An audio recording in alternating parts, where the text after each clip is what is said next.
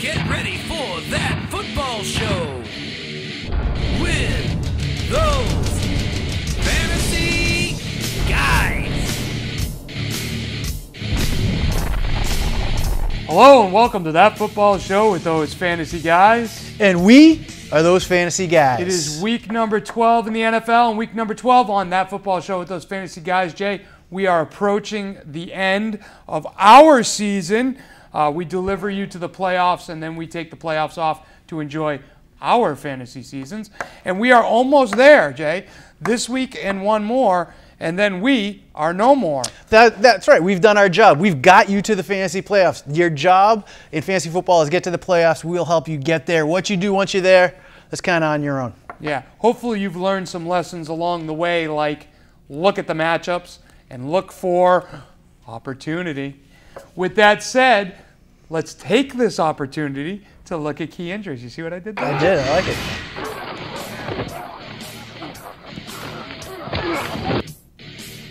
All right, they are. Jameis Winston still injured and out for this week again. Jacoby Brissett, Jay Cutler, Devonta Freeman, Ty Montgomery, Orleans Darkwa.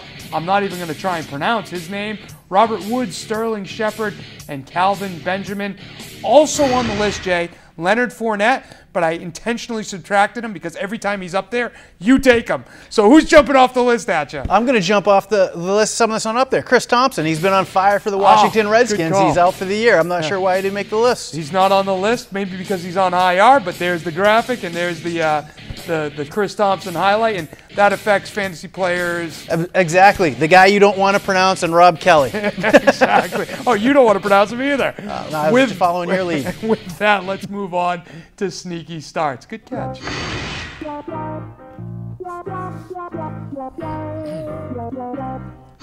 Jay, I know you are chomping at the bit to get to last week's picks this week, so please go ahead. Well, what I tell everybody all year, I tell you, I tell all- of our uh, dedicated fans out there, everything that you do needs to lead to the playoffs, to put you in position to make the playoffs. And what I did last week is I put, told you a guy that you could go out and start and someone that was going to produce. I told you the Bills D would provide the scoring chances and the Chargers uh, O would provide the opportunity. And when you combine those two things, what you get is uh, uh, uh, uh, Austin Ekeler. Great sneaky start. He did exactly what you want out of a sneaky start. He got a touchdown. You can't ask for more than that. to And tell you the truth, I'm a little disappointed he didn't do a little more. Oh, Bill and Ted's. But anyways, I told you to start Austin Ekeler. Hopefully you did. You got a great start. You got a touchdown. You got some yards. You got some receptions. Put you in a position to win your game.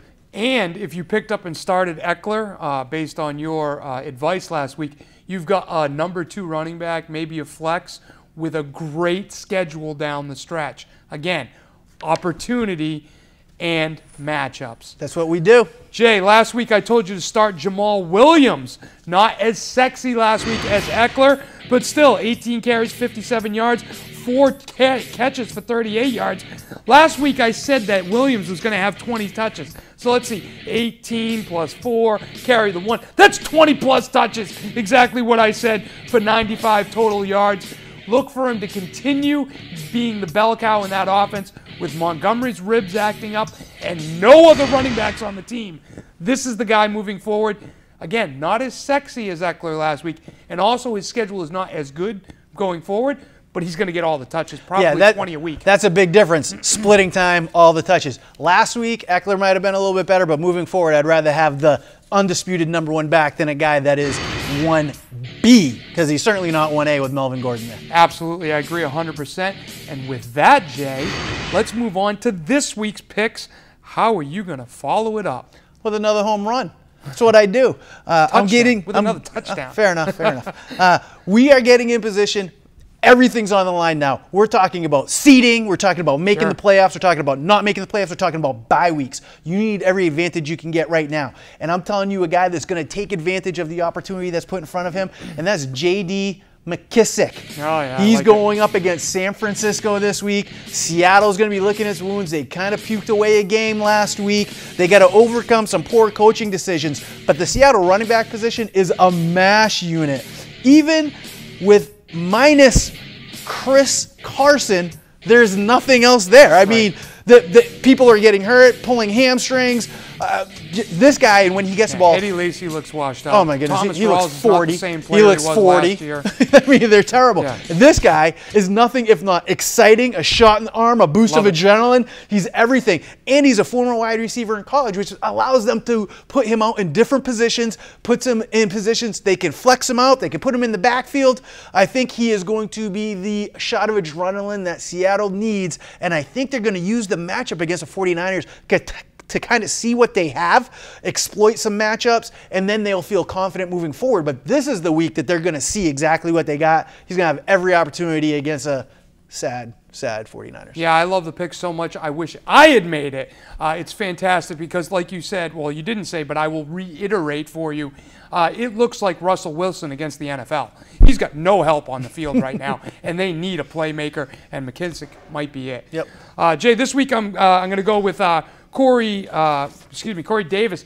A couple weeks ago, I told you to run out and add Corey Davis when he's look at this catch. Nice Oh, catch. uh, go out and add Corey Davis when he's coming off IR, and he hasn't had that much success in the last three weeks. He has 23 targets for 103 yards over that stretch, and you might say to yourself, well, gee, why would I go out and start Corey Davis with those kind of numbers since he's been back? Well, here's the reason. Since coming back, he's played Baltimore, a great passing defense, Cincinnati, a good passing defense, and the Steelers, the best passing defense in the NFL. But this week, he gets the Indianapolis Colts. Sweet. And again, if we cannot st- overstate something more, it's all about opportunity and matchups in the fantasy football world this year and probably every year. but the Indy defense ranks 30th. They've given up 15 passing touchdowns, and this kid is getting 23 targets over the last three games. Jay, if he gets his share this week at Indy, this might be the the, uh, the stepping game? off point for, for Davis for the rest of the season. This is the number one wide receiver on that team, not Rishard Matthews, not the tight end. This is the guy, and this might be the week where he shows it. I'm willing to roll the dice on him this week. If you've got a tough matchup from somebody else, a hurt wide receiver, a suspended wide receiver, or you're just scrambling, like you said, trying to make a push off, playoff push, trust your instincts, take some chances. If it doesn't work out, there's always next year. It's not very comforting to hear. There's always next week. There's always next week. But also, I, I want to take this opportunity to mention that if your team is not going to make the playoffs, or if you get eliminated this week, do not quit because your team has uh, exponential uh, pressure on other teams. You could be the team that eliminates someone else from the playoffs, and that, my friend, is a victory. That is a victory. I love taking people out. I mean, I haven't done that very often. I'm usually on the other end, but fair enough. I imagine that feels good. I like it. Let's move on to tough sits. Sit down, Waldo. Jay, out of the box. Last week, I mean, I know you're more of the stats guy. You like to recite stats I and talk you. about stats, it. and I'm more of a I saw the game, how it played out, and this is how it's going to work moving forward. I'm going to go with stats to explain my tough sit. Um, Dak Prescott. to work this week. Well, I mean, I, I'm going to try some of your magic. Dak Prescott was 18 out of 30 on for 145 yards, zero touchdowns, three interceptions, and a fumble. Yeah. That is straight negative points in any fantasy league. I told you to sit Dak Prescott until further notice. Hopefully you did. And basically, this is a tough sit until Ezekiel Elliott gets back in week 16, which if you're starting Dak Prescott between now and then, you're eliminated from the playoffs. You think so? That's, Yeah. that's it. Yeah. If he's your starting quarterback, You're there's done. just no chance. Yeah, you're done. It, it was a fantastic. Go out and get Paxton Lynch. I love it. yeah, I will tell you that uh, that this was a fantastic pick, and I was skeptical when you said it, especially against the game that we talked about might have a high over under. But man, the Eagles' defense just really put the clamps down and showed why uh, Dak Prescott might not be worth your starting lineup.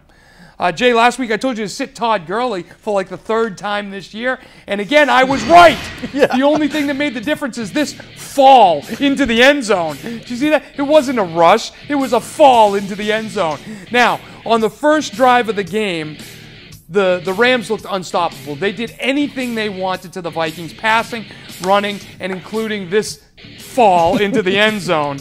Uh, Todd Gurley, from that point forward, had 15 carries for 37 yards. Jay, that is putting the clamps down on Todd Gurley, which is exactly what I said was going to happen. And if you remember correctly last week, we told everybody to make sure they watch this game closely because this might be a potential playoff matchup. And the Vikings showed that they are the better team in the NFC than the Rams. So, with all that said, I'll take it as a win, even though he got the touchdown. Jay, you can't argue that that is a fall into the I end can't. zone. uh, That's a touchdown. I It's mean, you tough sit. I could trip into You- the end zone. Okay, let's let's back up. How many times have you said sell on Todd Gurley or sit Todd Gurley, and you've been wrong every step Not of the way? Just admit right. it. This is right. It's a This is- touchdown. this is this. You look at listen. Even with the touchdown, if that was a sneaky start, that'd be a win. Even with yeah, but because the guys who are on sneaky starts are owned in less than sixty. But what I'm saying is, take the name off it. If you have a sneaky start that scores a touchdown, that's a win. you're out of your mind. Todd Gurley is owned in 100% of leagues and started in 100% of leagues. You expect more than nine points from Todd Gurley on a weekly basis. This was a good tough set. I will take it as a win no matter what you say. Fair enough. Let's move on to this week's picks. All right. Well, let me tell you how you're gonna uh, do a tough sit. I'm gonna tell you Show me how somebody. to- show- teach me. I'm gonna teach, Teach you me. how to pick. Like, just follow the example I did last week try it. with Dak Prescott. He got negative points. I'm gonna give you was an another guy. pick. Another So guy. was Todd Gurley. so I'm looking at the opportunity in the matchup. This guy has a lot of opportunity, but the matchup is not right. The matchup is not right, and that's where the problem is. Larry Fitzgerald is a Hall of Famer. He's not like a Philip Rivers where he has no shot to get in the Hall of Fame. He is a straight first ballot Hall of Famer. The old man is still producing, but you better look out. They're playing Jacksonville, the Teal Curtain. Call them the Thundercats. I don't care. Call them whatever you want. That D is nasty. They are going to shut down the Cardinals, and in doing so, Larry Fitzgerald is going to be shut down. He will not have a touchdown. If he does, I'm not going to come in here and tell you, he, oh, I'll count that as a win. He's not going to have a touchdown. He's going to have about three catches for 44 yards. That's it. Three catches, 44 yards. That's very specific. Jay, this week I'm going with Jordan Howard on the season. He has 198 carries for 841 yards and five touchdowns and is one of the very few bright spots on a Chicago team that is struggling. This week they are traveling to Philadelphia to take on the 9 and 1 Eagles. 9 and 1. That's a winning football game, team Jay. What wins team what excuse me, what wins championships? Defense. Running, running uh, defense. And oh, the- the, defense uh, Dak Right, Prescott last there you week. go. And the Philadelphia Eagles have the number one rushing defense in the NFL and have only allowed 71 yards per game and five touchdowns all season. The the Chicago uh, Bears have no other options other than running the ball, and the, the Philadelphia Eagles are going to very easily going to be able to key on him, and not only that, very easily be able to score on the Chicago Bears, and that's not only going to take the running game out of it, it's going to take Jordan Howard out of it, and so with the exception of maybe tripping into the end zone, I think you should sit Jordan Howard this week. If he trips into the end zone, does that count as a touchdown? It depends. Okay. it depends on the. I, I like your pick, though. I mean, for all the things that you outlined, I think the Eagles are going to go out there. They're going to smother them. Uh, Mitchell Trubisky has looked good at times, but the Eagles' D is very good Yeah, most of the sure. time. Uh, there's going to be turnovers in the game. The score is going to be in Philadelphia's advantage, like you said early in the game. So I love this pick. I think it's a great pick. Absolutely. Let's move on to Wall Street. One of the final chances you have to buy low or sell high on players. Jay, please take it away. Let me tell you what, right now, what are we talking about? Putting yourself in positions to win championships, to win playoff games. What do you need at this point in time? Because you're not going to go out there and find a starting this, starting running back. Nobody's cutting people that are, you know, worthy of anything. You got to go out there and find yourself a lottery ticket. And we got a guy that has proven in the past to be exactly that. Mm-hmm. If you can go out and get Josh Gordon right now, you're going to have two weeks to see what he can do and see if he's going to be a worthy flex wide receiver two possibility in the playoffs. Yeah, now that's a little bit of change up. I wasn't expecting Josh Gordon coming from you. I actually have him rostered in one of my leagues and am looking to roster him in the other. So I agree. Josh Gordon, look, we talked about it earlier in the year, not Josh Gordon, but how fantasy owners have a very short memory. The last time Josh Gordon took the field was 2014. That feels like a lifetime ago. But when he did, the Browns quarterback situation was arguably worse than it is now. Yep. And he still produced 1,300 yards and 13 touchdowns in one season, not playing like four games. Josh Gordon is a, Lottery a ticket. phenomenal talent at wide receiver. And if he can get beyond himself, will produce even for a struggling Browns team and can make the difference on your fantasy football team. This is the kind of guy that can put up 15 to 20 points per week in a PPR league without a problem. and, uh, and you have a couple of weeks to see what he can do Absolutely. before you before you decide to put him in the game that counts. You got two weeks to see what he can do, and if he's producing and producing, if you wait those two weeks, you ain't gonna get him. Yeah, I agree. I love this pick so much so that I I flirted with the idea of making it my buy low, but I didn't want to alert people in my league that, that weren't paying attention that Josh Gordon is coming back. So I appreciate you uh, blowing up my spot, if you will. Jay, last week Devonte Booker has had, excuse me, Devontae Booker has had 28 carries over the last three weeks, just two less than C.J. Anderson.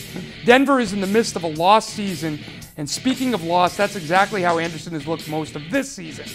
As a result, Booker is starting to eat into Anderson's touches. Over the same three-game stretch, Booker has eight catches for 68 yards, while Anderson has just three for 20. Talk about one-dimensional we could be looking at the Denver not moving away from Anderson, but certainly moving towards a more run heavy offense to protect their lack of talent at quarterback. Jay mentioned Paxton Lynch earlier uh, in the show. It just so happens that news broke today that Paxton Lynch may be the starter for this week. Does that change this situation?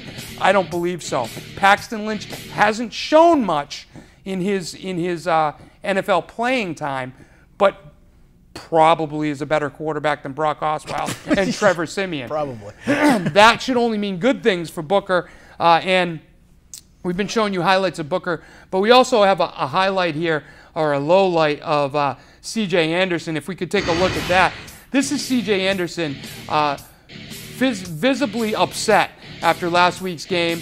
Uh, he says that he's crying because he lost the football and cost his team the, the game. I'm telling you that he's crying because Devonte Booker is about to snatch his job.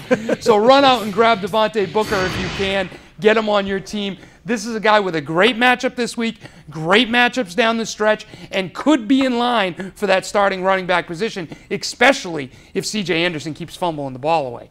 I agree. I love the pick. You, you, you said you were flirting with my pick. I was flirting with your pick. So Fantastic. I I'm agree. glad we're on the same wavelength. Speaking of wavelengths and thinking, let's move on to weekly leagues. Jay, what are you thinking for this week's weekly Week? I'm thinking about another lottery ticket. I'm thinking about matchups, and I'm thinking about the cost of a player. This is a guy that has been in the doghouse, but he's playing on Sunday night against a Green Bay Packers team that just got shut out in Lambeau from the first time since like 1996 or something like that. I'm telling you, for the price and the potential upside, I think this is the game Martavis Bryant goes off. Go and snatch him for free. He might only have two or three targets, but I think he's going to have two touchdowns and 89 yards. I love it. I love the pick. I think it's fantastic. Jay, with that pick, we are out of time for this week's episode. Before we go, it is going to be Thanksgiving in a couple days. I know that you're probably watching this after Thanksgiving, but I still want to tell you that I am thankful for a couple things. I'm thankful for our guest host, Rich Osterberg, helping us out. this Thanks, year. Rich. I am thankful for having one of the best co-hosts that I could possibly ask for in Jason Walker. I am thank you for our I am thankful for our director Patrick Snow. Thanks, Pat. I'm thankful for our wardrobe guy George Cox, who got me this sportful tie today. I am uh, thankful for all of the stations that air our show across the country, and I'm also thankful for all our Facebook fans out there who send us questions. If you have a Facebook question, look us up on uh, Facebook. It's that football show with those fantasy guys, or search TFS. Look for the shield and get us your question. That is all the time we have. Thank you, everybody. Have a great Thanksgiving. This has been that football show with those fantasy guys. And we are those fantasy guys. Happy Thanksgiving, everybody.